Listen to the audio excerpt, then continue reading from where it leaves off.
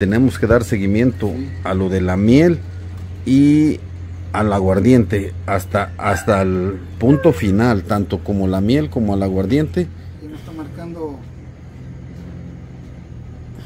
eh, un 6% más o menos ¿6% de qué? de alcohol.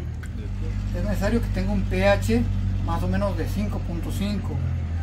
Si lo tiene más alto, se le agrega. Muy buenos días. Estamos aquí con Javier. Le vamos a dar seguimiento a los 5 o 6 días que lleva ya el aguardiente de panela que hicimos. Sí, Pero pues todo es con medición, ¿no? Al puro cálculo nomás deseamos 5 o 6 días, pero ahorita vas a checar Ajá. y vas a ver. De, de todos modos, tú le pusiste un globo aquí, ¿verdad? Sí, con unos hoyitos. para y dices que cuando ya empieza a estar empieza a disminuir. Porque se infló por completo Sí, ahorita porque está, todavía está la levadura, sigue comiendo azúcares, que sí que todavía tiene azúcares. Ahí nos damos cuenta que todavía está comiendo. Hasta que ya no se infle nada, se baja el globo solo. Pero le vamos a checar con los aparatitos para ver cuánto nos queda de azúcares y cuánto Bueno. tenemos ya más o menos de alcohol. correcto y aquí tenemos al catador mi primo es el que va a ir probando para ver qué tal queda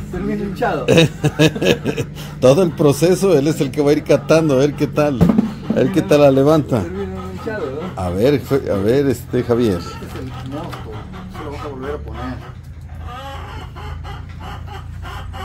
Que tiene un aroma agradable, mire. Sí, se no huele mal. Como a tepachito. A tepache, sí. A tepache, huele. Ahorita vamos a checar igual la acidez.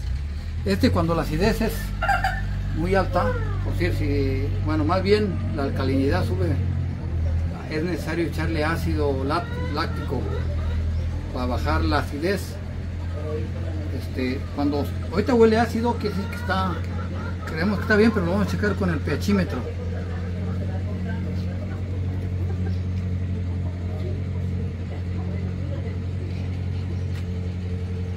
Esto se puede tomar así, sin necesidad. ese es es, un tepache. ese es un tepache Es un tepache, pero que tiene alcohol. ajá Porque hay tepaches sin alcohol. Que es nada más. Es que hay varios tipos de fermentación. Hay fermentación este, alcohólica, fermentación láctica, tenemos fermentación este, acética. Hay que hacer un tepache de piña, que es fresco. Es este, la fermentación con pero vámonos con esta fermentación esta fermentación cómo se llama Esta es fermentación alcohólica. alcohólica, ahí le dejamos. Ajá, ahí le ya no dejamos. ya no nos confundamos porque como nosotros que no conocemos los las fórmulas o todo eso, pues nos Ajá. nos enredas. Entonces nos vamos con la fermentación alcohólica. Aquí vamos a hacer alcohol Sí, aquí de panela. Uno, dos. Aproximadamente, aquí está el porcentaje de alcohol que nos da un aproximado. ¿Dónde le ves? Aquí tiene el porcentaje, aquí está 5%. Aquí está el 5% de alcohol si llegara aquí, pero llega menos.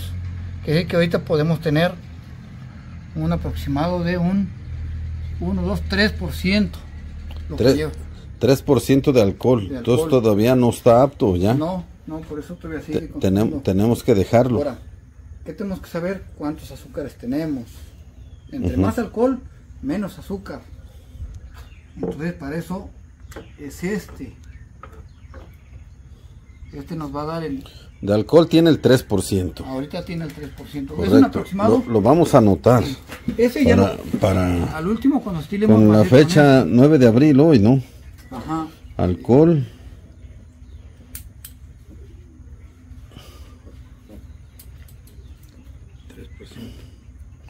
Tres por ciento. Este se llama refractómetro y mide los grados Brix, que son los azúcares que hay en cualquier cosa, una fruta, lo que sea.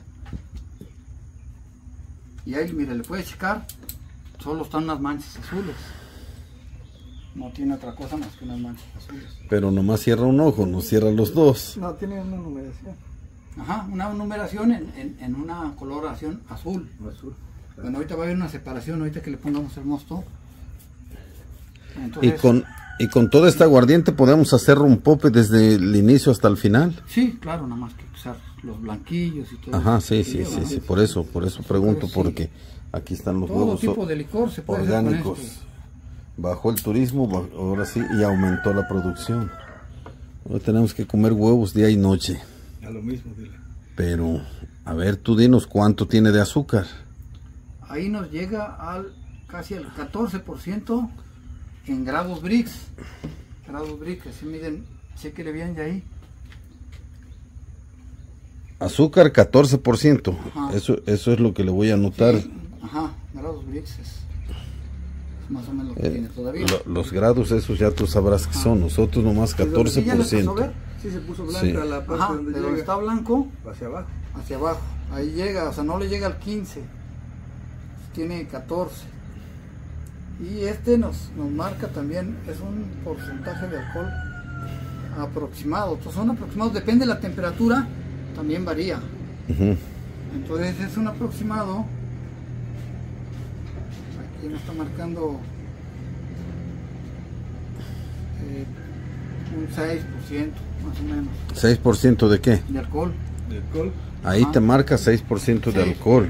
Este es, es un aproximado. El que es más seguro es este. Ah, ok.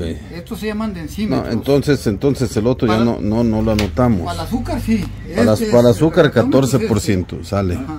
Ahora, demos, demos, demos paso al siguiente. Ahora, proceso. para que eso es para que la levadura trabaje bien, es necesario que tenga un pH más o menos de 5.5. Si lo tiene más alto, se le agrega ácido láctico. Que ese lo puede hacer uno con leche. Está un poquito ácido, tiene 4.2. Entonces aquí no es necesario ponerle nada. Está en sus. Ahí está. Está está, un poco está- bajo. Lo mejor sería que estuviera 5.5, pero de todas formas está trabajando bien. En una cerveza ya estaríamos muy bajos. Para este no, porque lo vamos a destilar y le separamos el alcohol. En una cerveza quiere decir que la las levaduras hicieron su trabajo, pero aparte las bacterias acéticas están trabajando más rápido. Si encuentran las condiciones es cuando se hace vinagre. Por si este siguiera bajando, Ya, se le puede hacer vinagre. Ah, pero ahorita tiene alcohol, ya le checamos, no hay problema. Ok. Bueno, entonces ahorita qué paso a seguir, Javier. Vamos a esperar. a esperar. Ajá, todavía. ¿Cuánto le calculas? Yo le calculo que para que se acabe eso, eso de azúcar que tiene todavía unos entre dos y tres días. Dos o tres días. Dos o tres, tal vez Entonces entonces- estamos a 9 de, de abril. Le, estamos, le estaríamos checando el día viernes. El 11, el 11 lo checamos. El día jueves es 11. Ajá. Órale, el día jueves. Checamos, que trabajando. Correcto. Aquí se ve cómo empiezan a estar subiendo las Y- hojitas luego. Todavía se ve que suben, ¿eh? Le vamos a dar seguimiento a todo este proceso. Es el video número 2. Hicimos el primero, aguardiente de panela con Javier. Y ahorita es el, el aguardiente de panela, segunda parte. Le vamos a ir dando seguimiento a todo este proceso. Y aparte de esto, Javier, le vamos a dar seguimiento al meliponario y a la abeja melipona y hasta donde termina en su proceso de la miel durante toda esta semana. Por eso te pregunto yo, ¿estás dispuesto a. a, a estar con nosotros toda la semana para que te enseñemos todo el proceso y, y, y nos sigamos? Porque te hemos estado esperando y esperando y, y los tiempos se nos pasan. Nomás Sí, tenemos sí. abril para sacar miel. Si, si, si yo paso después de abril, ya no porque el tiempo, el, el clima ha estado muy cambiado. Ahorita siento que son como que los meses de mayo, cuando hace más calor. Entonces ya le tenemos que dar seguimiento a lo de la miel y al aguardiente hasta, hasta el punto final, tanto como la miel como el aguardiente. Esta semana los vamos a estar grabando hasta que terminemos el, el proyecto. Ale Javier. Sí, vamos ya. Pues, hasta el sábado le paramos. Órale, ya Bueno, está. Esto nada más para decirle, no es necesario taparlo. Esto lo pueden, estas levaduras trabajan con oxígeno o sin oxígeno, de todas formas trabajan. Si esto estuviera tapado, usted pone un tambo y lo deja destapado, está trabajando de todas formas. Se tapa nada más para que no le entren bichos. Se cosas. tapa por, por, Para que no le entren- no por higiene. Ajá. Sí. Pero donde producen mucho, ya ni lo tapan porque lo pusen en tambos.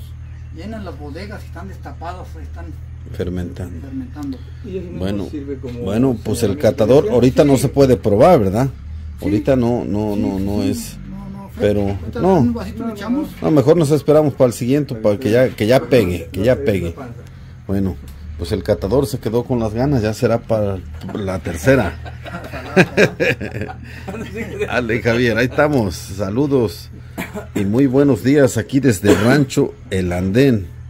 Nos vamos al seguimiento de la miel melipona.